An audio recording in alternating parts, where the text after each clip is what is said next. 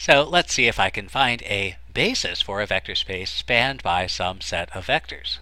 So for example, let's say I want to find the basis for the vector space spanned by vector 1, 1, 0, 3, 2, 0, 1, 1, and 2, negative 3, 3. And so I have 1, 2, 3 vectors, and I want to find the basis of the vector space spanned by these three vectors.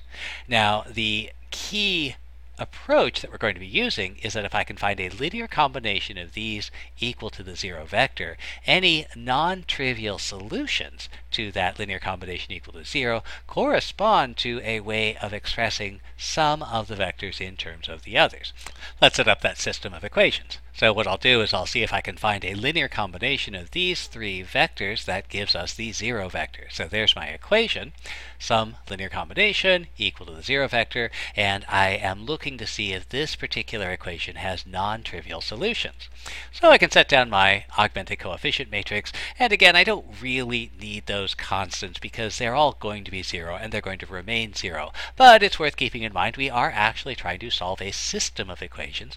So here's my augmented coefficient matrix. I'll perform row reduction, and that will get me my reduced, uh, my reduced uh, matrix.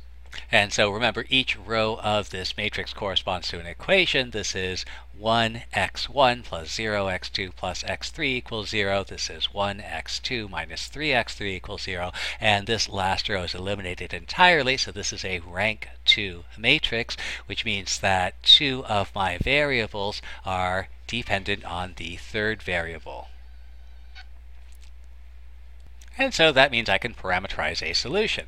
So I'll make that third variable. So this equation here, this row corresponds to the equation 2 minus 3x3 equals 0. So I'll let x3 be t, x2 is going to be 3t, and x1 is going to be minus 2t.